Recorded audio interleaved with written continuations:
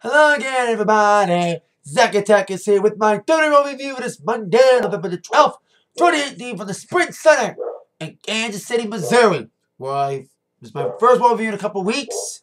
Uh, I went to a casino trip last Monday and I got home pretty late. So I did watch Wall recorded. And since I didn't make a review in the last two weeks for anything, I will say this about Crown Jewel.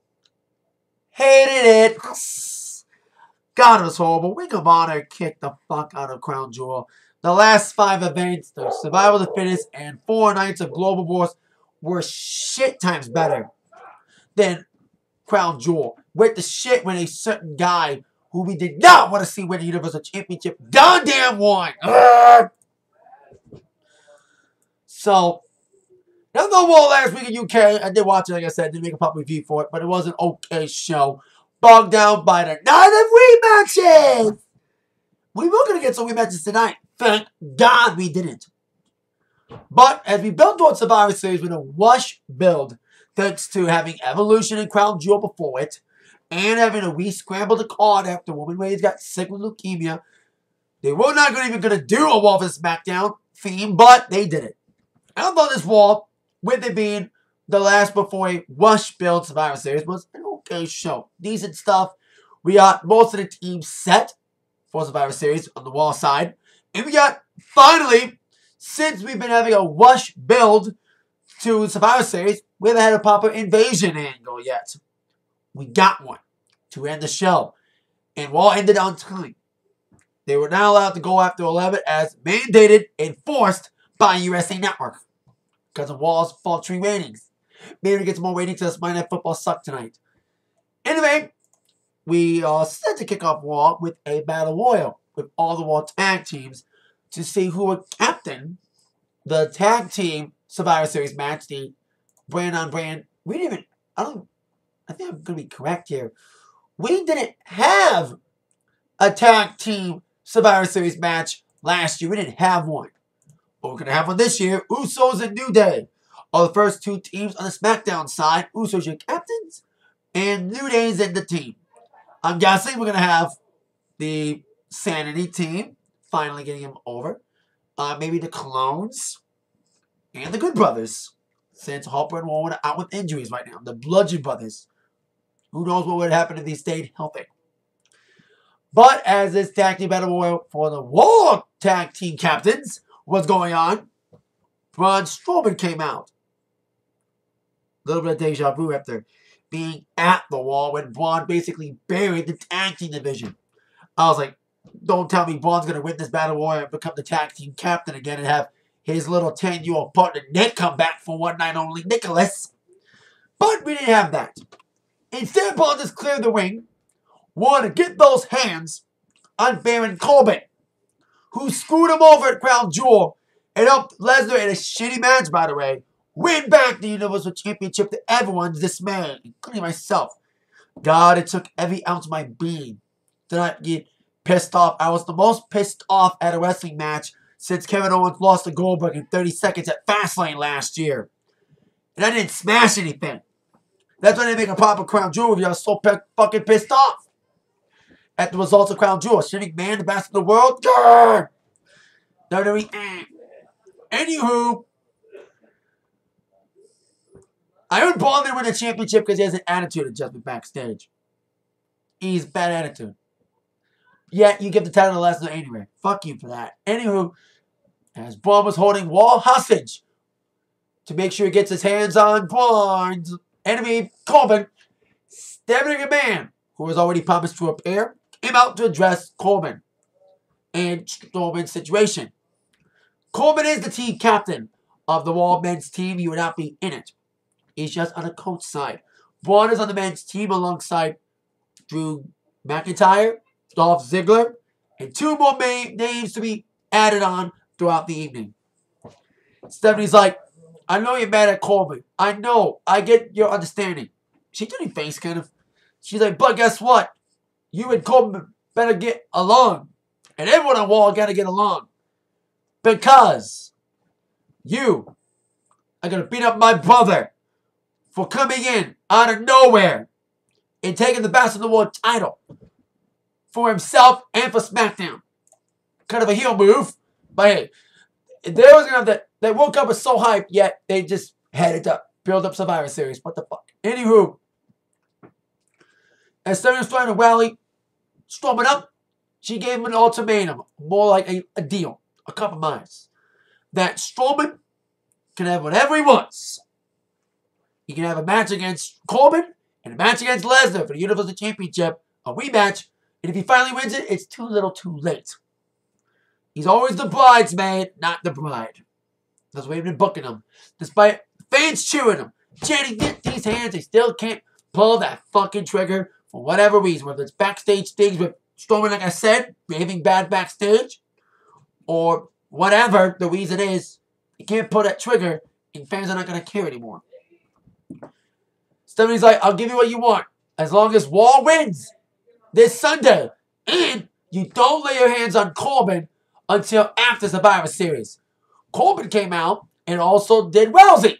Second message to uh, Becky Lynch. I'm liking that match, even though we haven't seen him uh, uh, every any confrontation for, uh, physically.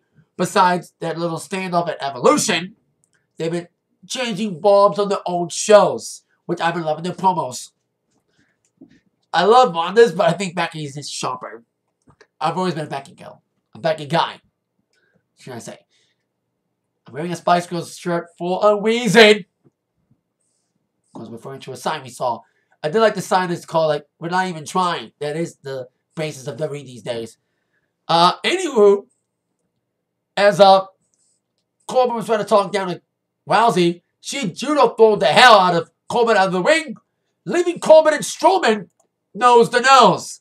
But of course, Stephanie kept pointing at Strowman. Remember our deal we made. You get whatever you want as long as Wall wins, and you don't leave your hands on Corbin until after Survivor Series. So we're gonna see Corbin get Corbin get the hands of Strowman later, after Survivor Series. But they'll, they'll be on the same team. And we'll see who else will join the men's team in just a little bit.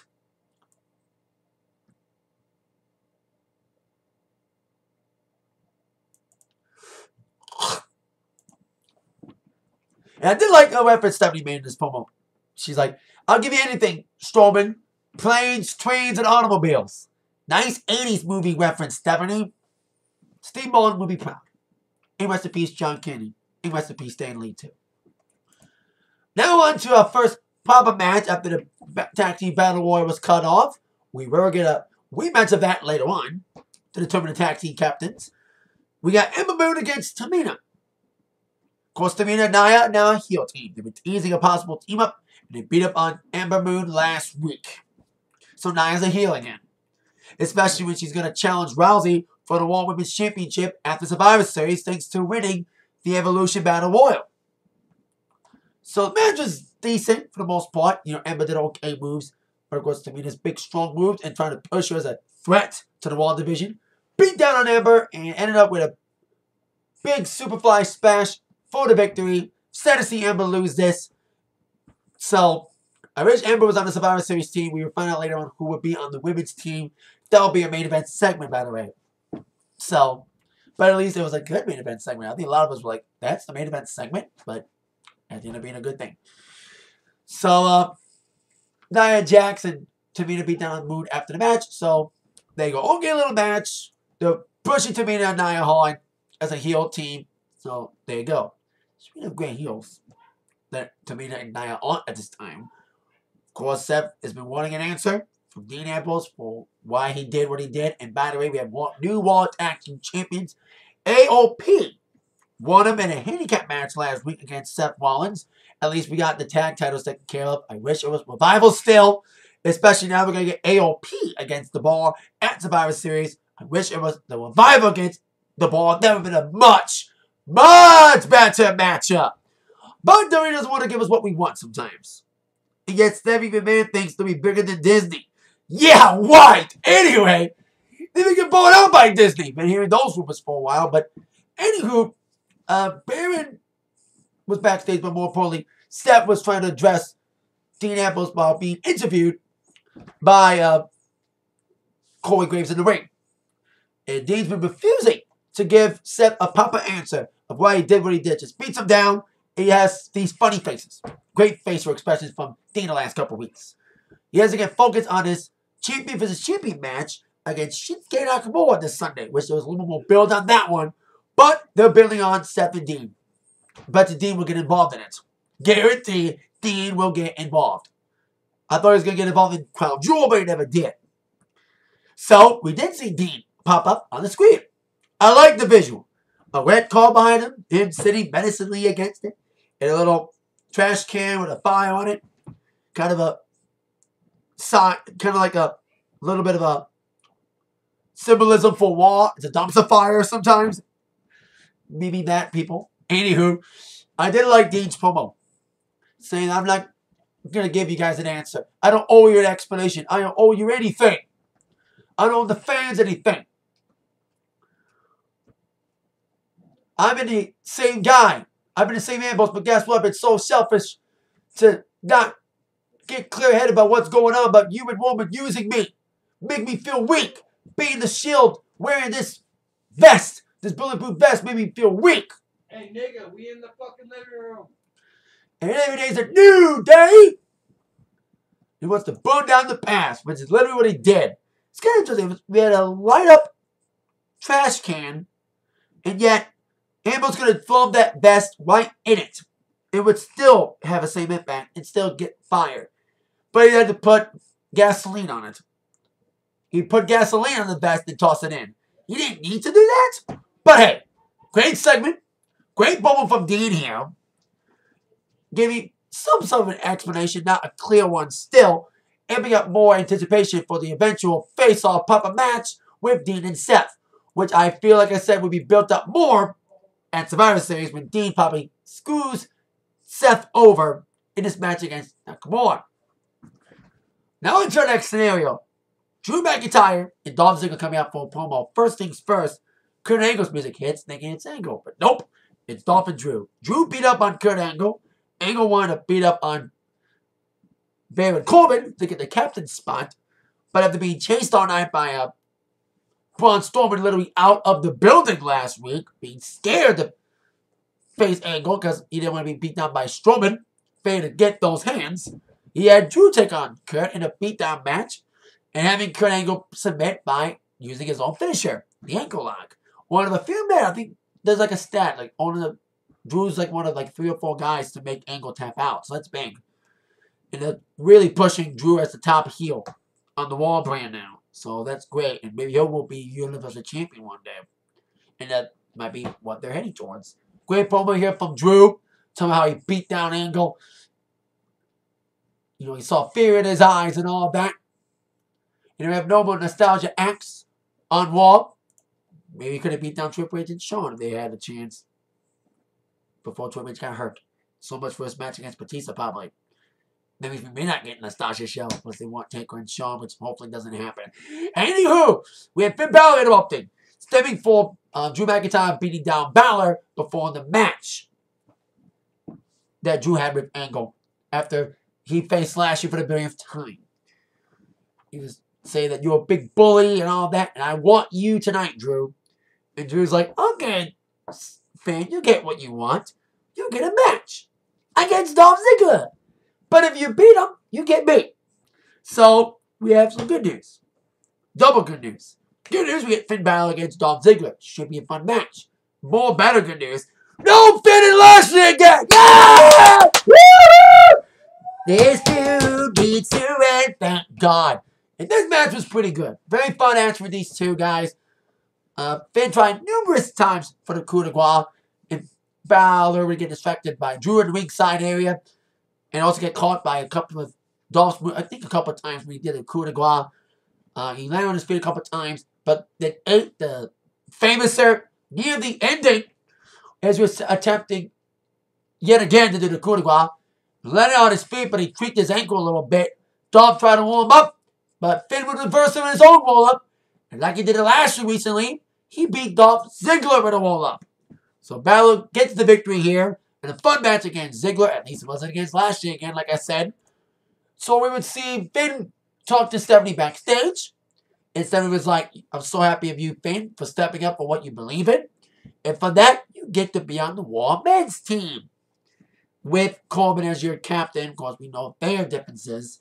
You know, we, we had that feud that needed to end. And of course, Stephanie told Dolph and Drew that news when they came backstage and said, You gotta get along. I know you guys hate each other, but guess what? Just for this Sunday, get along, beat up my brother. Dolph, you got screwed over at Crown Jewel, beat up all that anger, frustration on the shame. But then after Sunday, you can beat the fuck out of each other whenever you want. So, there you go. We're going to find out the fifth member of the Raw men's team later on. Now, on to our next segment here with the Ruby Riott Squad. Coming out to address what Ruby Riott did last week to Natalya in a rematch involving the Riott Squad against Natalya, Bayley, and Sasha. Uh, the match kind of abruptly just ended with no conclusive ending after a pair of glasses that Natalya got to bring out to ringside that she wore that were allegedly worn by her dad, Jim Anvil Neidhart, which I believe were not his real glasses. They were not actually smash a real pair of Jim the Anvil Neidhart's glasses. But they said they were, and Ruby Riott got some cheap heat by whipping the glasses, and that was it. Natalya was lucky in the sharpshooter on one of the members of the squad, and she saw Ruby whip those glasses apart, and the match just ended. Like, no DQ, like, it was just a no contest. So it was kind of a weird ending, just ended, like, suddenly, with no ending. And I like Ruby's promo here, saying that, you know, she felt bad, you know, Jim Anvil, Neidhart's a legend, kind of interesting, they're kind of almost exploiting a death just days before a death. They did exploit the death pun the pun, Eddie Guerrero's death. The anniversary is just a few days away. But then she turns it around by saying, like, oh, I'm so sad. But I'm not! I whipped those guys and I'm proud of it. So she was laying down a good little heel pummel there. And Natalya came down the ringside, wanted to beat up on Ruby, but got taken down by the Riott Squad. And thank God we didn't see Sasha and Bayley come out and get another match for the millionth time. But they put insult to injury. As if whipping the alleged sunglasses of Jimmy and Neidhart is bad enough. They decided to do the heart attack on Natalya. Kind of a rough heart attack, but still. They did it nonetheless to add more impact to Ruby and Natalya in their problems. See what happens later on. They may have to be forced to team up. Now, speaking of teams, we have, uh, before we get to the rematch of the Tag Team Battle Royal, here comes the Universal Champion. Brock fucking Lesnar. I'm not as upset as I was two weeks ago, but still. I'm not the only one who's like fucking not happy about Lesnar being champ again. I'm glad he got booed. Anyway, the only good thing about him is Paul Heyman. He did a little bit of decent promo. Talk about AJ Styles. That's the only good thing about Lesnar being champ again is that we're going to see an AJ Styles Lesnar rematch. But I did like that match. It was Lesnar's best match since he's returned at Survivor Series. Hopefully, he doesn't fucking do any bullshit this time. It doesn't. Because we've seen what happens in Lesnar rematches. The good as the first. Lesnar woman at Mania 31 until the Rollins cash in was good. And all the rematches sucked fuck. Sucked ass. Mania 34, pff. Greatest Royal Rumble, pff. SummerSlam. So, we don't want this rematch against AJ Styles to be sucky too. So, there's that. So then he got interrupted. Well, people say he being him got interrupted by the man who was going to face Lesnar, but put it in an about face. And if AJ Styles beat him for the WWE Championship just days before Survivor Series in Manchester. The modern day Jabba I mean Maharaja, Maharaja, Jinder Mahal, trying to give Brock Lesnar advice for AJ Styles and get him some spiritual Shanti healing. And Lesnar grabbed the mic from Heyman, saying, Come on, Paul, let him in. You need to hear this. You are Jewish. And that was funny, but that is why Lesnar doesn't speak. Because he says shit like that. Funny but offensive in a PC world. Anyway, we have Lesnar trying to do the Shanti thing, but in my mind, he's probably saying not Shanti. He's probably saying suplex. Suplex. Exactly what happened. Beat the fuck out of Singh Brothers suplexed the hell out of him. He, he kind of like interesting throws on both. He threw one Singh Brother back first every time, but the other one got landed neck first. And then F5 Jinder on the floor, ending the segment delivering a message to AJ Styles for this Sunday. Hopefully AJ wins this time, but sad to say Lesnar will probably win again. And hopefully the match doesn't suck and is better than that crown jewel. Now, on to the match that determined the final member of the Men's Survivor Series team with Elias taking on Lashley. At least wasn't Lashley against Balor again. The newly minted 24 year old piece ago, just turned 24 over weekend, Lio Rush was doing a little poem with Lashley, trying to be like Lio with his own little shady, you know, hustle shades on. And Elias interrupted on the phone, calling Child Protective Services, making fun of Lio Rush again. Whose kid is this? Like, yeah, yeah, this man, Bobby Lashley, kidnapped this kid a few weeks ago. How old is he? 10? I love his promo there. And uh, he is a good baby face. I'm actually liking him as a baby face. Because sometimes, I've said this before, I've seen a lot of good heels become shitty baby faces. But he's actually a good heel and a good baby face as well. Because people want to cheer him. And as uh, now is the reason why I'm wearing this shirt. La, as Elias walking down, I saw a sign in that was funny. It said, Elias should open, or the Spice Girls should open for Elias. Spice Girls are on another reunion tour, and I'm not shy to say it, but I am a Spice fan. I'm a straight guy, but I'm a Spice Girl guy. And I saw this, this, this shit, I, I got this on the reunion tour with Posh, who's not even on this tour. But I was kind of funny to see it. And I had a shirt on, I was like, wow. it's kind of funny. I had a shirt on, and I had a Spice Girl reference on one, and I with a sign. That was kind of funny.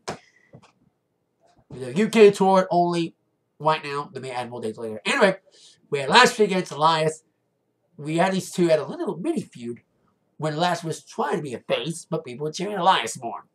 So I mean, okay little matchup until they brawled on the floor for a little bit. And Lio, who had underneath the ring, grabbed Elias's leg, preventing him from getting back in the ring. And Bobby Lashley is your fifth member, winning by countout. So, some good news and bad news of this. Uh, the good news is, at least Elias didn't get pinned, especially after his great showing against Dolph Ziggler last week. But the bad news is, Lashley, I like Lashley and all, but his one on WWE, and I think everyone can with this one, Lashley's comeback one in WWE has been uneventful. The shitty storyline with Sami Zayn, and I thought this Lio Rush thing would help him. Unfortunately, it's doing him more damage than good. This Lio Rush thing, I thought it would be a good help, but it's not. It's not helping him any matters. It's not helping him get a big attention. Lio's more annoying than anything. And I love Lio Rush, and I love in Ring of Honor. From what I saw of in Ring of Honor. But bam. She never want that tweet about Emma. Now she's got skin psoriasis and all that. Anywho, so Lashley with the team up with Balor. Whoopee! So it's Lashley, Balor, Strowman, Ziggler, and Drew.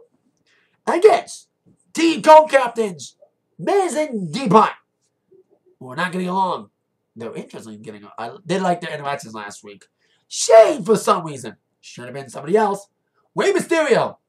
And Jeff Hardy. Not Samoa Joe, who beat Jeff Hardy last week to get that final spot on the men's side. But we're gonna find out who's gonna be the Raw team captain of the tag team side. I forgot the, forgot that match. I think it was before this.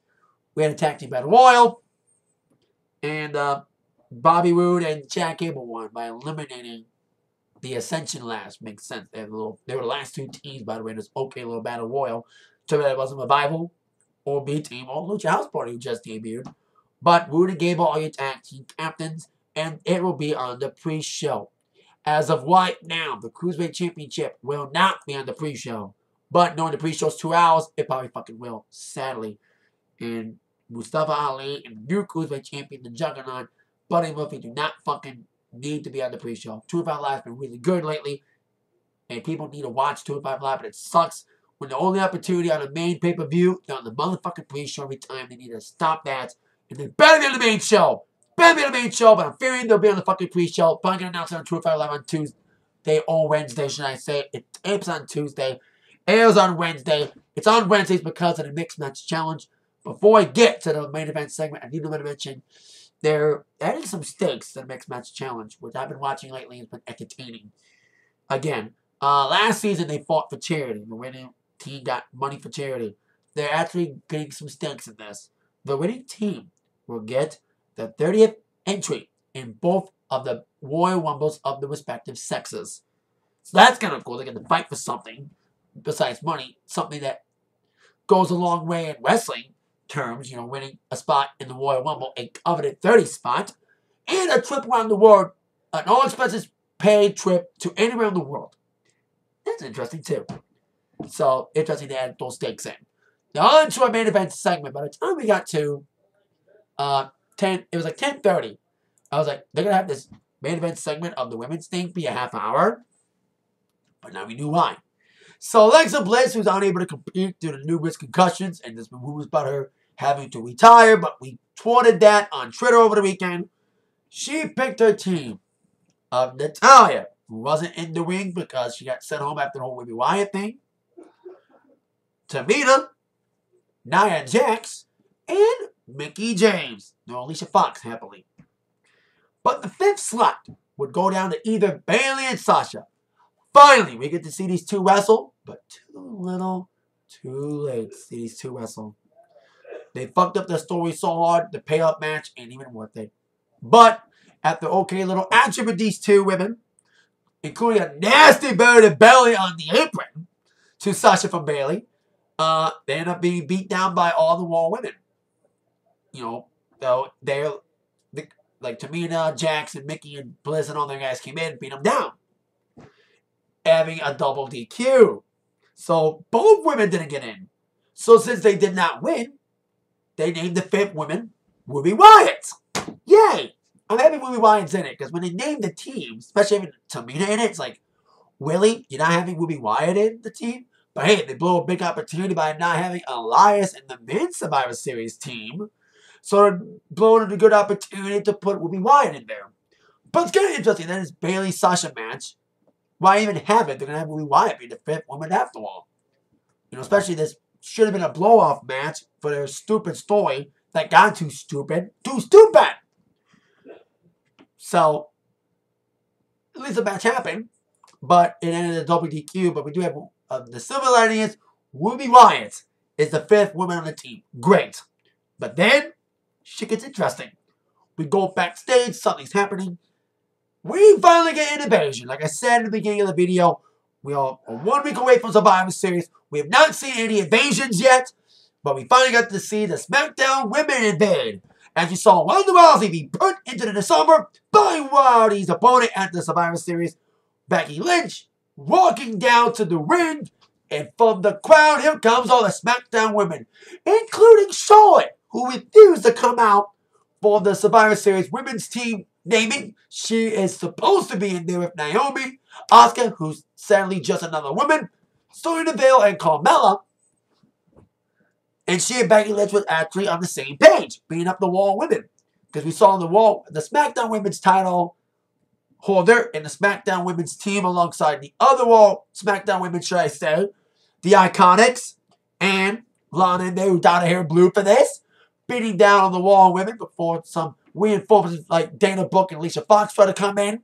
And then Ronda Rousey, bum all in all, came out to beat down the Wall women, SmackDown women, should I say, before Becky came back in with a steel chair, started nearly across the arm of Rousey. And someone tell me how Blair Lynch got cut up. I was watching it a couple of times. How did Lynch get cut up so badly? She's like, nasty cut above the eye and nose. Someone tell me, someone comment, how did Becky Lynch get cut up? I must have missed something. So we saw Becky Lynch standing tall on wall with SmackDown women laying out the Raw women, especially the Raw Women's Champion being laid out by the man, Becky Lynch. I loved it.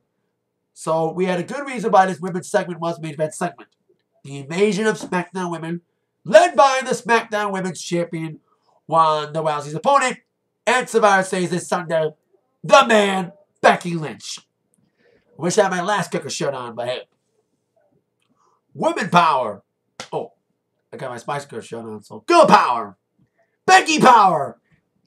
People power. People power. There you go, my John Laurinaitis impression. So that is it for my wall review. I will probably will not be making a Survivor Series review, by the way. Um, I'm actually going to a live wrestling event, an independent wrestling show, XICW this Sunday. I will watch Survivor Series and give my thoughts about it next week on my wall review. But I probably won't make a proper review of it because I'm going to XICW probably. So with that being said, you've been attacked by the review from Zak. Happy Veterans Day, happy Rusev Day, happy everything day. See you later. Bye-bye.